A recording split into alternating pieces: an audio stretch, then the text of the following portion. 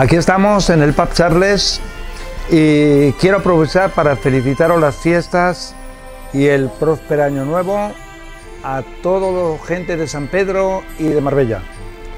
Muchas felicidades para todos y salud.